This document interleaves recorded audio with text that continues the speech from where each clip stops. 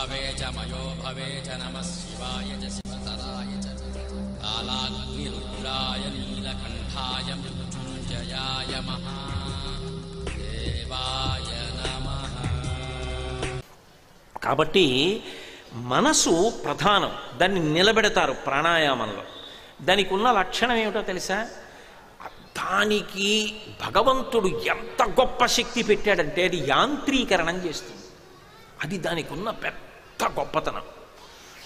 ఆ క్షణంలో అక్కడి నుంచి ఉంటుంది ఓం నిధనపతయే నమ అన్నాను అనుకోండి.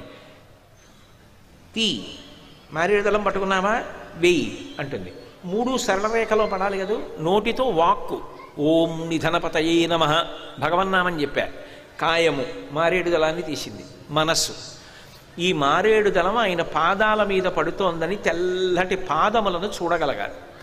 ఇదేం చేస్తుందంటే ఓం నిధనపతయే నమ ఓం నిధనపతాంతికాయ నమకి ఉంటుంది. ఓం ఊర్ధ్వాయ నమ అనేటప్పటికీ నీకు చెప్పాను కదా ఇలా పళ్ళెంలోంచి దళం తీయాలన్నమాట. దీనికి నేర్పేస్తుంది ఇది తీసేస్తుంది. ఇది అలవాటు అయిపోయింది కదూ నీకు వచ్చు కదూ చెప్పు అంటే ఓం ఊర్ధ్వలింగాయ నమ వేసేస్తూ ఉంటాడు. ఇదేం చేస్తుందంటే రేపు ఎన్నింటికి బయలుదేరితే బాగుంటుంది శ్రీకాళహస్తి నుంచి మనం సాయంకాలానికి అందుకోవాలి ఇంకో కార్యక్రమానికి వెళ్ళాలి ఇక్కడ ఇన్నింటికి బయలుదేరితే బాగుంటుంది మనం చేస్తామన్న పనులు ఎన్నింటికి పూర్తి చేయగలుగుతాం భోజనం కాళహస్తిలో చేద్దామా ఇంకో చోట చేద్దామా? పని అయిపోయాక కాళహస్తిలో అంతసేపు ఉండడం ఎందుకు మనం మనం తొందరగా బయలుదేరితే బాగుంటుందా? ఇవన్నీ ఆలోచిస్తూ ఉంటుంది. పైకి ఊర్ధ్వలింగాయ నమ హిరణ్యాయ నమ హిరణ్యలింగాయ నమ దివ్యాయ నమ దివ్యలింగాయ నమ ఇది అనేస్తుంటుంది దేహేస్తుంటుంది. ఇది ఎక్కడో తిరుగుతూ ఉంటుంది. మళ్ళీ ఇదన్నా అయిపోవాలి ఇవన్నా అయిపోవాలి. అప్పుడు మళ్ళీ వెనక్కి వస్తుంది. అయిపోయా మారేడు దళాలు అయిపోయా అయిపోతే ఆగిపోవడం ఎందుకో? తల బియ్యం తీసుకోక అక్షతం మళ్ళీ రెండింటికి ఉంటుంది మళ్ళీ వెళ్ళిపోతుంది అక్కడికి. కాకినాడ వెళ్ళిన తర్వాత అబ్బో మళ్ళీ అక్కడ కొన్ని కార్యక్రమాలు ఉన్నాయి ఇవన్నీ మనం చూసుకోవాలి జాగ్రత్తగాను. అలసట అంటే అలా మరి చెయ్యొద్దు కార్యక్రమం అని ఏదో దాని గురించి ఏదో ఆలోచిస్తుంది. ఈలోగా మళ్ళీ అక్షతలు కూడా అయిపోతాయి మళ్ళీ వెనక్కి వస్తుంది. ఇందులో ఒక్క నామం దగ్గర అది ఉంటే చాలా గొప్ప. అది మిగిలిన వాటిని యాంత్రీకరిస్తుంది. ఆటోమేషన్ అంటారే అలా చేతిని చేసేయమంటుంది నోటిని పలికేయమంటుంది తాను వెళ్ళిపోతుంది. ఈశ్వరుడు అంటాడు నాకు మూడోది లేదు కదా నీ పుచ్చుకోలేదండి ఆయనకి అది కావాలి. అదేమైనా తేలిక అదేమైనా మారేడుదలమా ఇచ్చేయడానికి? అలా ఇచ్చేసే శక్తి నాకుంటే ఇంకే?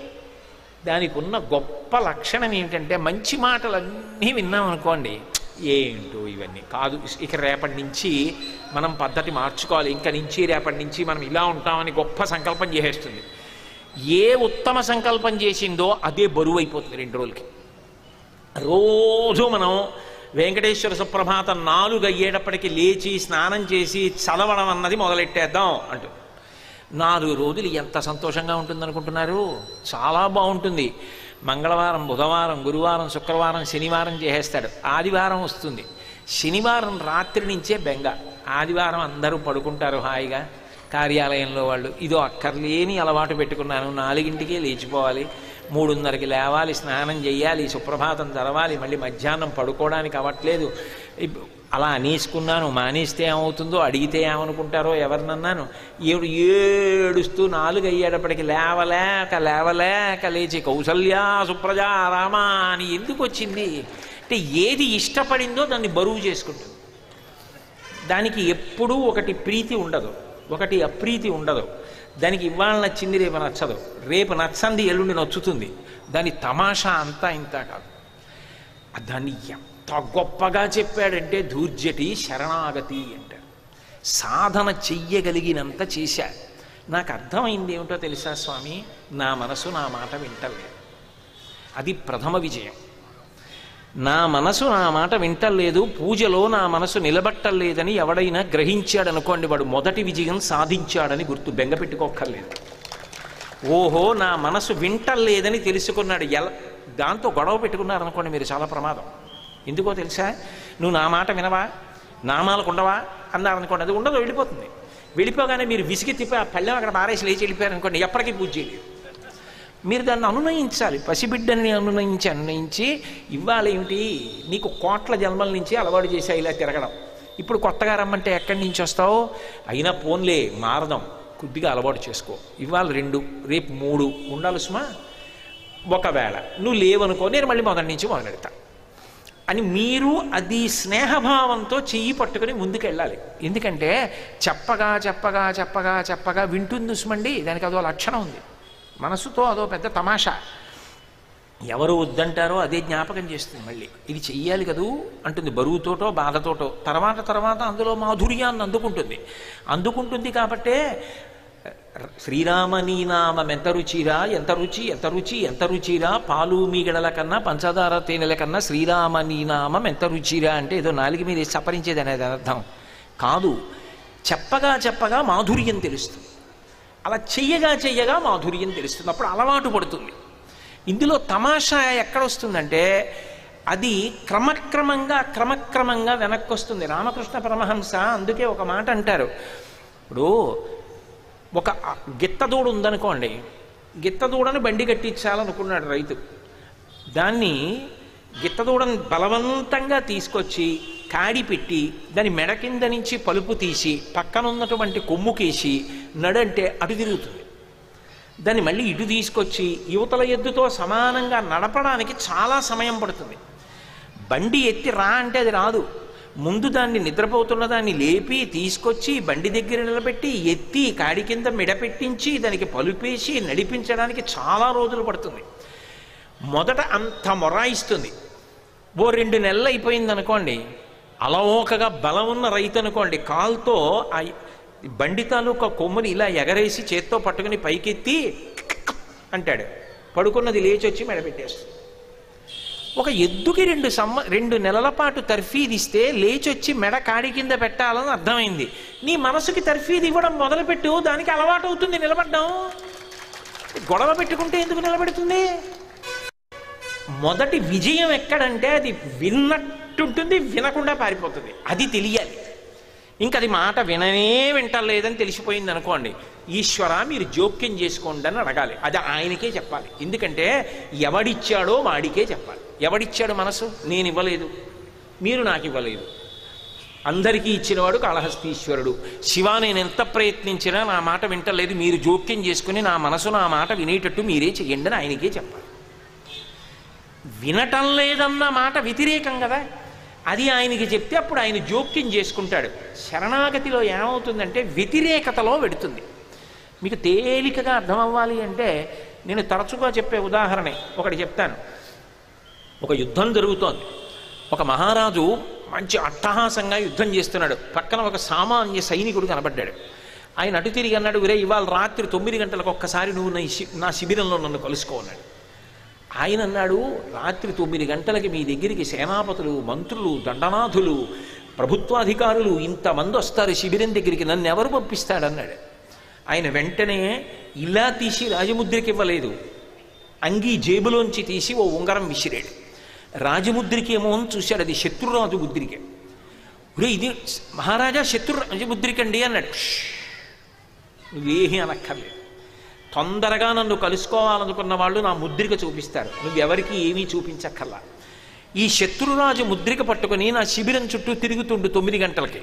అందరినీ ఆపి ముందు నిన్ను తీసుకొస్తారు నా దగ్గరికి అన్నాడు అది పట్టుకు తిరుగుతున్నాడు.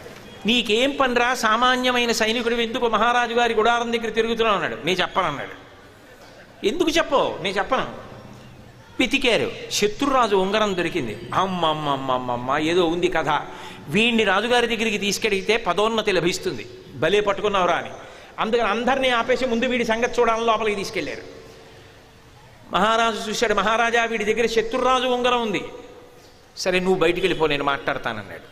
చూసావా నా ఉంగరం ఉన్న వాళ్ళందరూ బయట నుంచి ఉన్నారు ఉంగరం ఉన్న నువ్వు నా దగ్గరికి ముందు వచ్చేసావు శరణాగతి అంటే ఏమిటో తెలుసా? నా మాట వింటలేదని భగవంతుడికే చెప్పేయాలి. శత్రురాజు ఉంగరం దగ్గర పెట్టుకున్నాడు తొందరగా భగవంతుడి దగ్గరికి ఎడతావు. కానీ అరమరిక ఉండడానికి వీల్లేదు. అక్కడికి వెళ్ళి గొప్ప నటుడిలా ఏదో విభూతి పుండ్రాలు పెట్టేసుకుని పెద్ద అంచు పంచగట్టేసుకుని పెద్ద శ్లోకాలు చెప్పేస్తే లొంగిపోయేంత అమాయకుడు కాడు ఆయన ఆయన నడవడిని పరిశీలిస్తాడు. అయ్యా నా మాట వింటలేదండి నేను తప్పులు చేస్తున్నానండి నేను మోహపడిపోతున్నాను లోభపడిపోతున్నాను ఆకర్షణకి గురవుతున్నాను ఇంద్రియములకు వశపడిపోతున్నాను. మీరు జోక్యం చేసుకోండి అని శివుడికి చెప్తే అది శరణాగతి. అది ఉత్తరక్షణ ప్రయోజనాన్ని ఇస్తుంది. అందుకే అది చేస్తున్నాడు ధూర్జటి. రోషీరోయదు కామినీజనుల తారుణ్యోరు సౌఖ్యంబులన్. దానికి నేను పెద్ద విశేషమైన వ్యాఖ్యానం చేయక్కర్లేదు మీ అందరికీ అర్థమై ఉంటుంది. ఆయన కామమును గురించి ప్రస్తావన చేశాడు. ఎంత అనుభవించినా స్త్రీ సౌఖ్యమునందు నాకు వైరాగ్యము కలగలేదు. మళ్ళీ మళ్ళీ కోరుకుంటోంది. చాలు అంతకన్నా వ్యాఖ్యానం అక్కర్లేదు. దానికి మీరందరూ ప్రాజ్ఞులు మీరు తెలుసుకోగలరు. కాబట్టి రోజీరోయదు కామినీ జనుల తారుణ్యోరు సౌఖ్యంబులన్ బాసీబాయదు పుత్ర మిత్ర ధన సంపద్భ్రాంతి. ఏమిటో ఈ కొడుకులు ఏమిటో ఈ కూతుళ్ళు ఏమిటో ఈ అల్లుళ్ళు ఏమిటో ఈ బంధువులు ఏమిటో ఇవన్నీ శాశ్వతమా? ఇవన్నీ ఉంటాయా? ఆఖరికి కల్లరి బొమ్మయవు కాయ కాయ కాయంబునొల్లా అద్దె కొంపలబోలు ఆ లోకమొల్ల. ఎందుకీ భోగంబులెందుకీ మురుపు? ముందు చావుండంగ మురియంగనగుని హరసాంబ శంభో మహాదేవయనచు. హరశివ శంభో మహాదేవయనచు. ఈ రెండు మాటలుడెవడు పఠించు? పారిపోవును వాని పాపములంచు. పెద్దలు చెప్పగా మది విని నమ్మి బుద్ధి తెచ్చుక మిమ్ము పొడగంటి సుమ్మి. ఎటుల రక్షించదో ఇంత పాపాత్మో ఎటుల రక్షించదో ఇంత దుష్టాత్మో? నా ఎన్న నా దొర ననుగన్నవాడ దీనపోషక దేవ దేవదేవేశ దానవకుల నాశ దక్షాయణీశ కామబాధల నన్ను కాలగానియకు అని శివమానస పూజలో పరమశివుణ్ణి ఉద్దేశించి స్తోత్రం చేస్తారు. అలా ఈశ్వర రోషీరోయదు కామినీజనుల తారుణ్యోరు సౌఖ్యంబులన్. బాసీబాయదు పుత్ర మిత్ర జన సంపత్ భ్రాంతి వాంఛా సంపద్భ్రాంతి ఈశ్వర నాకు కొడుకుల మీద భ్రాంతి. ఎంతసేపు వాడే వాడెలా మనవలెలా ముని మనవలెలా అక్కడే మనిషికి జంతువుకి తేడా అక్కడ వచ్చేస్తుంది. నిజానికి జంతువుకున్నంత సుఖం బహుశా మనిషికి ఉండదు. ఎందుకంటే జంతువు యొక్క అవసరములు తక్కువ. బట్టలు కుట్టించుకోక్కర్లేదు నగలు వేసుకోక్కర్లేదు బ్యాంకులో డబ్బులు వేసుకోక్కర్లేదు ఏటీఎంలో డబ్బు లేదని బెంగెట్టుకోక్కర్లేదు ఎవరో పన్ను వేస్తారని బాధ లేదు కొడుకు ఏమడుగుతాడో అన్న బెంగలేదు మనవలు ఏమైపోతారో అని బెంగపెట్టుకోక్కర్లేదు ఇల్లు కట్టుకోవాలన్న చింత లేదు. నిజానికి దానికి అవసరములు బహు తక్కువ. దాని బిడ్డకి తనంత తాను ఆహారమును సంపాదించుకోవడం రాగానే అది బిడ్డని వదిలిపెట్టి దాని తన జీవనం తాను చేసుకుంటుంది. అంత వైరాగ్యం నిజానికి మనిషికి ఏది? అయితే అది అజ్ఞానంతో కాబట్టి దానికన్నా మనిషి గొప్పవాడయ్యాడు. ఎన్ని వినండి ఇంకా ఏదో ఆ కొడుకు మీద భ్రాంతి ఆ తండ్రి మీద భ్రాంతి భర్త మీద భ్రాంతి భార్య మీద భ్రాంతి ఉండవలసిందే.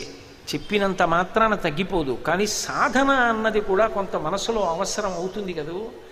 అది సాధన చేద్దామంటే శంకర సాధనకి నిలబట్టలేదు. అది అలాగే ఉండిపోతుంది. వచ్చిన బాధ ఏమిటంటే నేను ఉండిపోతాను.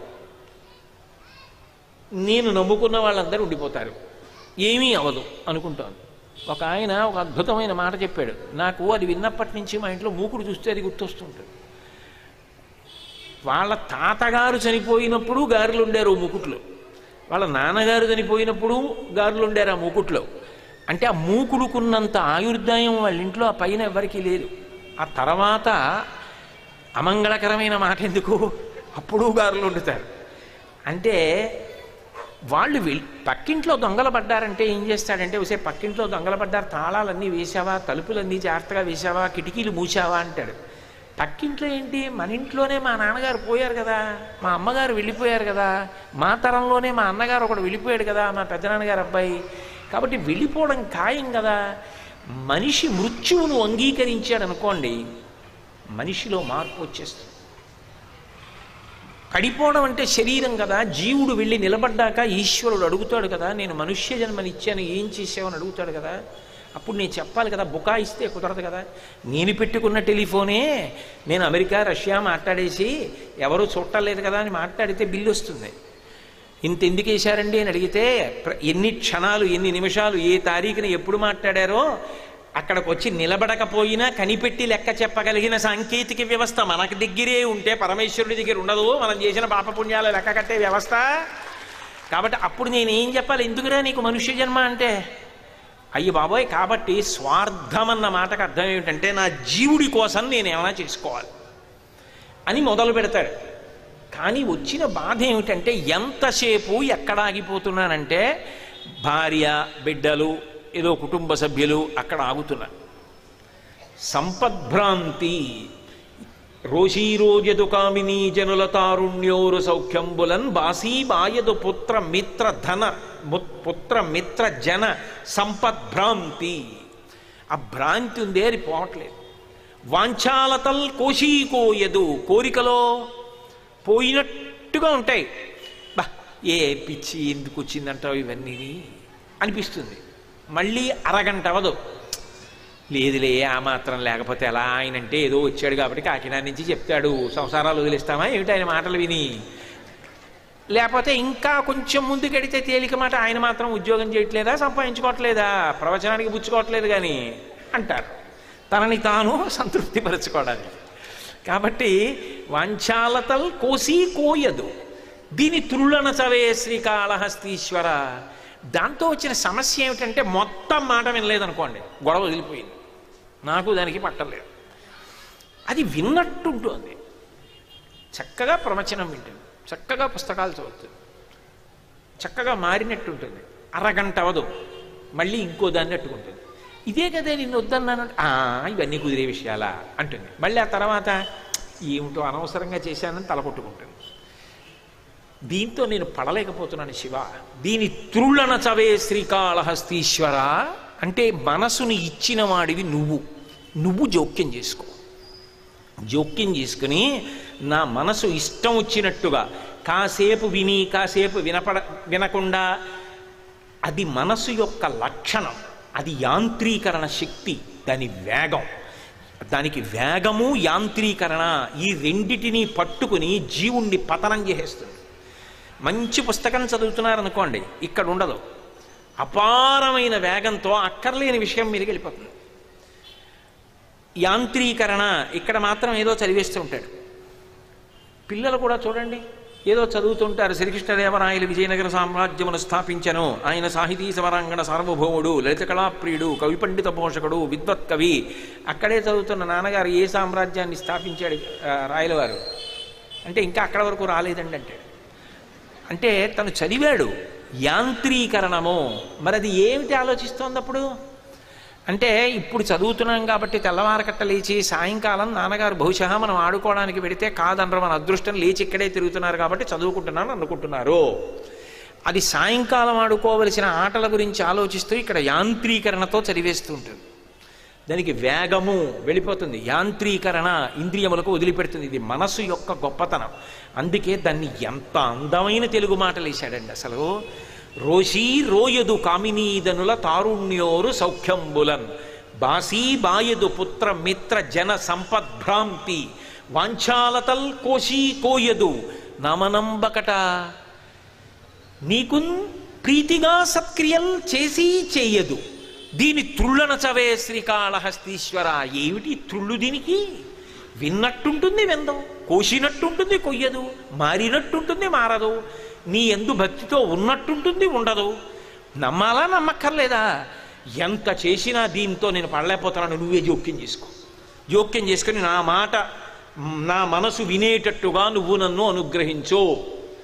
అంటే తాను పడుతున్నటువంటి కష్టాన్ని భగవంతుడికి చెప్తారు. దాన్ని శరణాగతి అంటారు.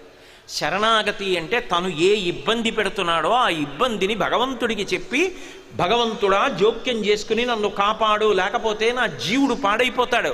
నన్ను రక్షించి నేను పునర్జన్మలలో తిరియక్కునైపోకుండా మనుష్య జన్మ యొక్క విలువ తెలిసి బ్రతికేటట్టుగా నువ్వు జోక్యం చేసుకో.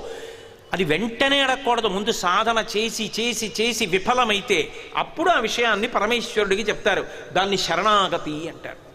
ఆ శరణాగతి సిద్ధాంతాన్ని ఇంత అద్భుతమైనటువంటి తెలుగు మాటలతో ప్రతిపాదించాడు. శరణాగతి గొప్పతనం ఎక్కడుంటుందంటే అద్వైత సిద్ధాంతంలో నయ్యితి నయ్యితి నయ్యితి నయ్యితి నయ్యితి అంటూ వెళ్ళిపోతే చిట్ట చివర ఎక్కడికి చే చేరిపోతాడో ఉన్నటువంటి ఈ శరణాగతి సిద్ధాంతంలో కూడా చివరికి వెళ్ళిపోయేటప్పటికీ అక్కడికే చేరిపోతాడు. ఎందుకో తెలుసా? మనసు కానీ పరిశుద్ధమైందనుకోండి మీరు శరీరంతో ఏం చేశారన్న దాని వలన పాపము రాదు. అదొక అద్భుతమైన విషయం. దానికి సాక్ష్యం సుందరకాండలో స్వామి హనుమ సీతాన్వేషణం చేస్తున్నారు.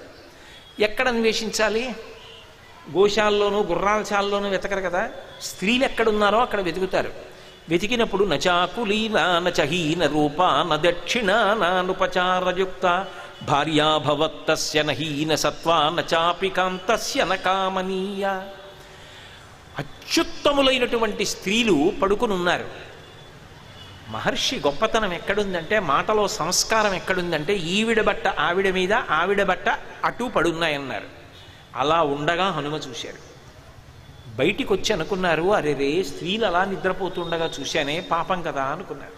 వెంటనే అన్నారు నేను సీతమ్మని వెతకడం కోసం చూశాను. ఈమె సీతమ్మ కాదు అని వెళ్ళిపోయాను తప్ప నా మనసు ఎందు ఏ విధమైనటువంటి దోషము లేదే నాకెవ్వరు జ్ఞాపకం లేదే నా మనసు కదలలేదే నా మనసు అన్యభావన పొందలేదే కాబట్టి నాకు దోషము రాలేదు అంటే మనసు పవిత్రమైందనుకోండి ఈ కంటితో చూడడం వల్ల వచ్చే దోషం ఉండదు. ఎవరో ఒక ఆయన ఎదురుగుండా కూర్చుని ఉంటే అలా చూస్తున్నాడు ఆయన. ఏమిటి అలా చూస్తాడేమిటి అనుకున్నారు. కానీ ఆయన అలా చూడడానికి కారణం ఏమిటంటే సాక్షాత్తు పరమశివుడు కూర్చున్నట్టు పట్టుబట్ట కట్టుకుని విభూతి పుండ్రాలు పెట్టుకుని బొట్టు పెట్టు కూర్చుంటే చూడ్డానికి శివుడు కూర్చున్నట్టున్నాడు రా అన్న భావనతో పరమ పవిత్ర భావనతో చూస్తున్నాడు. ఇప్పుడు ఆయన అదే పనిగా చూస్తున్నా ఆయన అన్యమనస్కంగా చూసినవాడు కాడు. ఆయన చూస్తున్నది పవిత్ర భావన చేత. మనసు మంచిదైనప్పుడు దోషమంటదు. మనసు మంచిదవ్వాలి అంటే శాస్త్ర పరిజ్ఞానము మంచి విషయముల యొక్క స్పర్శ దానికి కావాలి. మీరు బాగా గమనించండి ఇదొక్కటే కన్నం శరీరాన్ని పోషించడానికి. ఇందులోంచే ఆహారం వెడుతుంది ఇందులోంచే మంచినీళ్ళు ఎడతాయి. కానీ ఇందులోంచి వెళ్ళిన ఆహారంలో దోషం వచ్చినా ఇందులోంచి వెళ్ళే మంచినీళ్ళలో దోషం వచ్చినా శరీరానికి అనారోగ్యం వస్తుంది. ఇంద్రియములకు మీరు వశపడిపోయి తొందరపడి తినకూడనిది తిన్నా తాగకూడనిది తాగినా ఆరోగ్యము భ్రంశమైపోతుంది. అటువంటిది మనసు ఐదు కన్నములలోంచి వెళ్ళే వాటి మీద ఆధారపడుతుంది.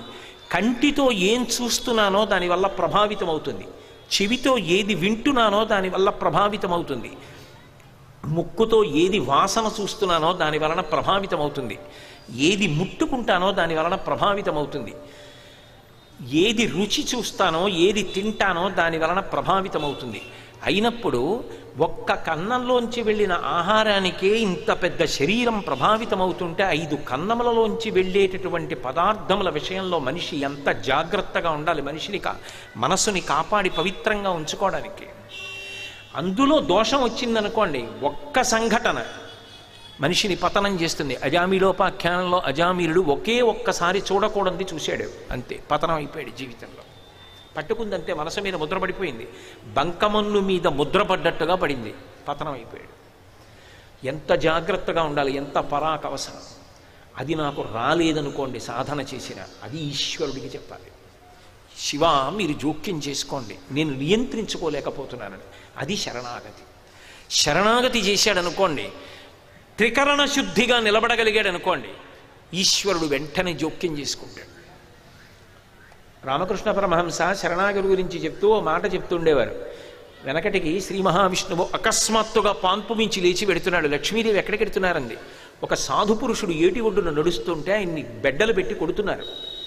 ఆయన నన్ను శరణాగతి చేశాడు మనసులో కాపాడమని. ఆయన తిరిగి ఎవ్వరిని ఏమీ అనలేదు. నేను ఆయన్ని రక్షించడానికి ఎడుతున్నాను అన్నాడు అని నాలుగు అడుగులు వేసి వెనక్కి వచ్చి కూర్చున్నాడు.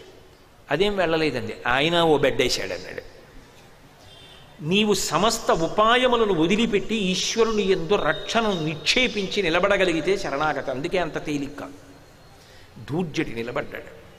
రోషీరో యదు కామినీ జనుల తారుణ్యో రసౌఖ్యంబులన్ బాసీమాయదు పుత్ర మిత్రధన సం జన సంపద్భ్రాంతి వాంఛాలతల్ కోశీకోయదు నామనంబకట నీకున్ ప్రీతిగా సత్క్రియల్ చేసీ యదు దీని తృళ్ళన చవేసి కాళహస్తీశ్వర అని. శరణాగతి ఎంత ఉత్తరక్షణ ఫలితం ఇస్తుంది అంటే దానికి ప్రఖ్యాతమైనటువంటి ఉదాహరణ గజేంద్రమోక్షణమే. విష్ణువ శివుడ రెండు ఉండవు ఉన్నది ఒక్కటే పదార్థం. ఆ ఏనుగు అప్పటి వరకు పోరాడి పోరాడి పోరాడి చిట్ట చివరికి ఇక పోరాడలేక అప్పుడు శరణాగతి చేసింది. లావుక్కింతయులేదు ధైర్యము విలోలంబయ్యే ప్రాణంబులా ఠావుల్ తప్పెను ముచ్చగొచ్చె తనవుండశ్యన్ శ్రమంబయ్యడి నీవే తప్ప ఇతప్పరం వెరుగా. మన్నింపందగున్ దీనునిన్ రావే ఈశ్వర కావవే వరద సంరక్షింపు భద్రాత్మక అంది. ఇక నేనేమీ చెయ్యలేను. నువ్వే జోక్యం చేసుకోవాలి నువ్వే కాపాడాలంది. అండంలో కూడా పోతన గారి భాగవతం దగ్గరికి వచ్చేటప్పటికి ఒక విచిత్రం. ఆయన అన్నాడు కలుగడే నా పాలి కలిమిలేములు లేక ఆ అడ్డుపడివాడు అంటూ లీలతో నామరాలింపడే మొరగుల మొరలిరుంగుచు తన్ను మొరగువాడు. ఆ వచ్చేటటువంటి వాడు ఎలా రావాలి అంటే తనని తాను మరిచిపోయి రావాలన్నాడు. శరణాగతి సిద్ధాంతము ఎంత గొప్పదంటే ఇన్నాళ్ళు ఏం చేసావురా నాకు నియమం పెట్టడానికి అనలేదు. శరణాగతికి భక్తుడు నిలబడగలిగితే భగవంతుడు అలా వింటాడు. నిన్ను నువ్వు మరిచిపోయి రావాలి. ప్రహ్లాదుడి విషయంలో వచ్చినట్టు స్తంభంలోంచి వస్తానంటే కుదరదు. నిన్ను నువ్వు మరిచిపోయి రా. ఎలా? లీలతో నా మొరాలింపడే మరగల మరలరింగుచు తన్ను మరగవాడు. నిన్ను నువ్వు మరిచిపోయి రా అన్నాడు. ఎలా రావాలి? పోతనగారంతటి వారికి తర్వాతి పద్యం పళ్ళ.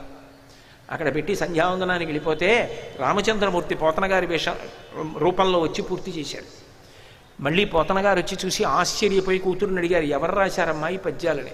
నాన్నగారు మీరే కదా వచ్చి రాశారు సంధ్యావందనానికి అడుగుతూ పద్యాలు గుర్తొచ్చాయని వెనక్కి వచ్చి రాసి మళ్ళీ వెళ్ళారు కదా అంది. నేను కాదమ్మా రామచంద్రమూర్తి రాశాడన్నారు.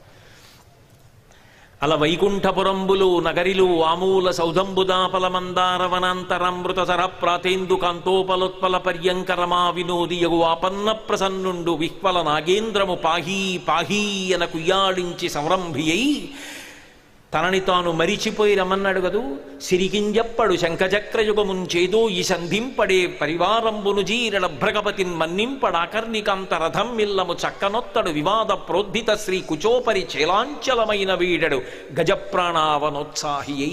తన వెంటన్ సిరి లచ్చి వెంట నవరోధవ్రాతముందాని వెనక పక్షీంద్రుడును ధను కౌమోదికి శంఖచక్ర నికాయంబును ధ్వజనీకాంతుడు. తా వచ్చి రొయ్యన వైకుంఠపురంబునన్ కలుగువారాబాల గోపాలమును చిట్ట చివరికి లక్ష్మీదేవి యొక్క కొంగు పట్టుకున్నవాడు కొంగు విడిచిపెట్టకుండా ఆవిడ వంక తిరిగి ఒక మాట చెప్పకుండా శంఖచక్రాలు పట్టుకోకుండా గరుత్మంతుణ్ణి అధిరోహించకుండా గజనీకాంతుడు విశ్వక్సేనుడు మొదలైన వాళ్ళు అడుగుతుంటే మాట్లాడకుండా గజేంద్రుణ్ణి రక్షించే వరకు పెద్ద పెద్ద అంగలేసుకుంటూ అలాగే వచ్చేసి సుదర్శన చక్రాన్ని ప్రయోగించి మొసలి కంఠాన్ని ఉత్తరించి ఏనుగుని కాపాడే వరకు ఆగకుండా తనని తాను మరిచిపోయి వెళ్ళిపోయాడు. అంటే భక్తులు పెట్టిన నియమానికి వశపడి ఈశ్వరుడు జోక్యం చేసుకుంటాడు. శరణాగతి సిద్ధాంతమునకు అంత గొప్పతనం ఉంది. సాధన చెయ్యగలిగినంత చేసి భక్తి కొరకు ప్రయత్నం చేసి చేసి చేసి విఫలమైపోతే ఇక నా వల్ల కాదనుకుంటే అప్పుడు ఈశ్వరుడు యొక్క జోక్యాన్ని త్రికరణ శుద్ధిగా అడిగితే దానిని శరణాగతి అంటారు. ఆ శరణాగతి సిద్ధాంతానికి పట్టాభిషేకం చేశాడు నిజంగా. చేయడం అంటే అలా ఇలా కాదు. తెలుగు భాషలో ఎంత అందమైన మాటలు వేస్తే మనసు యొక్క ఆట ఆవిష్కరణమవుతుందో అంత అందమైన మాటలు విని వినకపోవడం కదిలి కదలకపోవడం లొంగి లొంగకపోవడం వదిలి పట్టుకోవడం ఇవన్నీ మనసుకున్నటువంటి ద్వందాలు దాన్ని తెలుగు మాటలలో అంత అద్భుతంగా ప్రయోగించి మనసు యొక్క స్థితిని ఆవిష్కరించి శ్రీకాళహస్తీశ్వరుని శరణాగతిని అభ్యర్థించిన మహాభక్తుడు దుర్జటి. అందుకే రోషీరోజదు కామినీ జనుల తారుణ్యోరు సౌఖ్యంబులన్ బాసీబాయదు పుత్ర మిత్ర జన సంపద్భ్రాంతి వాంఛాలతల్ కోశీకోయదు నమనంబకట నీకున్ ప్రీతిగా సత్క్రియల్ చేసీ చేయదు దీని తుళ్ళనజవే శ్రీకాళహస్తీశ్వర. ఒకట ఇన్ని పద్యాలు చేశాడండి మనసు మీద. తమకంబప్ప పరంగనాజన పరద్రవ్యంబులన్ మృత్యులింగ మహోద్యోగము చేయు నెమ్మనము బట్టి వైరాగ్య పాశంబులన్ కట్టి బిగించి నీ చరణస్తంభంబునన్ కట్టివైచి ముదంబెన్నడు కలగజేయగదవో శ్రీకాళహస్తీశ్వర. ఎంత తొందర ఉండాలో శరీరము వృద్ధాప్యమును పొందకముందే మనిషి తొందర పడకపోతే ఆ తర్వాత తెలుసుకున్న శరీరము సహకరించకపోతే ఇంకా ఏమీ చేసుకోలేకుండా ఎలా పాడైపోతాడో చెప్పడానికి అద్భుతమైన మాటలు వాడాడు. ముందు జాగ్రత్తగా శరీరాన్ని వాడారనుకోండి. ఓ క్షేత్రం ఉంది. ఆ పాటి ఓపికండగా కష్టపడి వెయ్యిలింగాల కోనకెళ్ళి ఎండో కొండో నెత్తి మీద ఉత్తరీయం వేసుకుని వెయ్యిలింగాల కోనకెళ్ళి సహస్రలింగాన్ని చూసి వచ్చారనుకోండి చక్కగా ఆ భరద్వాజ మహర్షి ప్రతిష్ఠించినటువంటి లింగాన్ని దర్శించి ఆ కోనేరు చూసొచ్చి కన్నప్ప కొండెక్కి కన్నప్పని దర్శించి వచ్చారనుకోండి ఓపిక ఉండగా దీన్ని వాడారు. దీనికి ఓపిక తగ్గిపోయింది. మనసు ఏం చేస్తుంది? ఇది ఓపిక తగ్గిపోయినా కళ్ళు మూసుకు కూర్చున్నాడు అనుకోండి అలా శ్రీకాళహస్తి క్షేత్రానికి పోతుంది లోపలికి వెళ్ళిపోతుంది వాయులింగాన్ని చూస్తుంది జ్ఞానప్రసూనాంబం చూస్తుంది దక్షిణామూర్తిని చూస్తుంది మృత్యుంజయమూర్తిని చూస్తుంది వెంకటేశ్వరుని చూస్తుంది కనకదుర్గని చూస్తుంది చెంగల్వరాయుడిని చూస్తుంది సరస్వతి తీర్థం చూస్తుంది కన్నప్పని చూస్తుంది వజ్రేశ్వరుణ్ణి చూస్తుంది అపరాజితిని చూస్తుంది సహస్రలింగాన్ని స వెయ్యి లింగాల కోనలో చూస్తుంది అన్నీ చూస్తుంది. ఓపిక ఉండగా దీన్ని వాడారు కాబట్టి దీనికి ఓపిక తగ్గి మడత కుర్చీలో పడుకున్నా ఇది అన్నిటినీ మళ్ళీ ఓసారి చూపిస్తుంటుంది. దీనికి ఓపిక తగ్గిపోయే వరకు మనసుకి ఆలంబనం లేదు దీనితో వెళ్ళింది లేదు. అంతా అయిపోయిన తర్వాత ఏమండి ఇప్పుడు ఎందుకండి ఇవన్నీ పదవీ విరమణ చేశాను? తర్వాత వస్తానంటే అప్పటికి రక్తపోటు వచ్చి మధుమేహం వచ్చి అడుగు తీసి అడుగేయలేక ఎక్కడికి వెళ్ళనప్పుడు అందుకున్న స్మరణలు లేనప్పుడు అందుకున్న ముద్రలు లేనప్పుడు మనసు ఏది చూపిస్తుంది? అప్పుడు చదవమంటే ఏ నామం చదువుతుంది? ఏ శ్లోకం చదువుతుంది? ఏ పద్యం చదువుతుంది? ఏ పుస్తకం గురించి తెలుసు? ఏ పూజ చేస్తుంది? ఏం తెలుసు దానికి పాపం? ముందు శరీరాన్ని వాడు మనసు శ్రీమంతమవుతుంది. మనసుని మొట్టమొదట నువ్వు అన్య విషయాలన్నిటిలో తిప్పి శరీరం బడలిపోయిన తర్వాత అప్పుడు భగవంతుడంటే ఎలా తరిస్తావు? దాన్ని ఎంత గొప్పగా చెప్పాడో తెలుసా అండి ఆ సిద్ధాంతాన్ని? దంతంబుల్ పడనప్పుడే తనువుయం దారూఢియున్నప్పుడే కాంతాసంఘము రూయనుప్పుడే జరాక్రంతంబు కానప్పుడే వింతల్ మేన చెరించునప్పుడే కురుల్ వెల్వెల్ల కానప్పుడే చింతింపన్వలమీ పదంబుజములన్ శ్రీకాళహస్తీశ్వర. శరీరానికి మనసుకి ఉన్నటువంటి అనుబంధాన్ని ఎంత జాగ్రత్తగా రెండిటినీ కలిపి వాడుకోవాలో. అలా వాడకపోతే మనిషి జన్మ ఎలా పతనమవుతుందో ఎంత అద్భుతంగా విశ్లేషించాడండి. మహానుభావుడు కాళహస్తీశ్వరుణ్ణి ఉద్దేశించి చెప్పుకుని తరించిపోయాడు. అటువంటి కాళహస్తీశ్వర శతకంలోంచి ఇదో నా చేతనైనంత మేర ఈ మూడు రోజుల ప్రవచనం చేశాను. మీ అందరూ కూడా ఇంత ప్రేమాభిమానాలతో వచ్చి అంత ఇరుగ్గా తల్లులందరూ అలా అంత ఇరుగ్గా మధ్యలో ఉన్నటువంటి త్రోవలో కూడా కూర్చుని అన్ని వందల మంది అలా నిలబడి అంత భక్తితో విన్నందుకు మీ వంటి పరమ భాగవతోత్తములు శ్రీకాళహస్తి పట్టణం అంటే పెట్టి పుట్టాలి అక్కడ పుట్టడం అంటే. అక్కడ పుట్టి అక్కడ పెరిగి అక్కడ కాపరాలు చేస్తూ అక్కడ నివాసం ఉంటున్నారు. రోజు ఆ గోపురాలు చూస్తున్నారు గుళ్ళోకి కెడుతున్నారంటే మీ వంటి భాగవతోత్తముల యొక్క ముఖాల్ని మూడు రోజుల పాటు చూడడమే నాకు గొప్ప అదృష్టం. మీ అందరి మధ్యలో కూర్చుని ప్రవచనం చేసేటటువంటి అదృష్టానికి నేను పాత్రుణ్ణి కావడం ఈ శ్రీకాళహస్తి క్షేత్రం దినదిన ప్రవర్ధమానమవుతూ అనేకమైనటువంటి క్షేత్రాల్ని ఎంతో గొప్పగా అభివృద్ధి చేస్తున్నారు. ఆ భరద్వాజ తీర్థం చూస్తుంటే ఆ దేవాలయాలు ఆ వెయ్యి లింగాల కోనకి కొండలో గొప్ప రహదారిని నిర్మాణం చేస్తున్నారు. దేవాలయాన్ని ఎంతో వృద్ధిలోకి తీసుకొస్తున్నారు. మీ అందరూ కలిసి చేయి చేయి పట్టుకుని ఒకటై మా కాళహస్తి దేవాలయాన్ని మా పట్టణాన్ని అభివృద్ధి చేసుకుంటామని మీరు చూపిస్తున్నటువంటి సమైక్యతా భావానికి మీ అందరికీ నా హృదయపూర్వకమైనటువంటి అభినందనలు తెలియచేస్తూ మీ అందరూ ఇంత ప్రేమని చూపించినందుకు నా ధన్యవాదములు తెలియచేసుకుంటూ సెలవు తీసుకుంటున్నాను. మంగళాశాసనపరై పదాచార్య పురోగమై సర్వైశ్చ పూర్వైరాచార్యై సత్కృతాయాస్తు మంగళం. మంగళం కోసలేంద్రాయ మహనీయ గుణాత్మనే చక్రవర్తి తనూజాయ సర్వభౌమాయ మంగళం ఉమాకాంతాయ కాంతాయ కామితార్థప్రదాయినే శ్రీగిరీశాయ దేవాయ మలినాథాయ మంగళం. సర్వం శ్రీ ఉమామహేశ్వర పరబ్రహ్మార్పణమస్తు. స్వస్తి.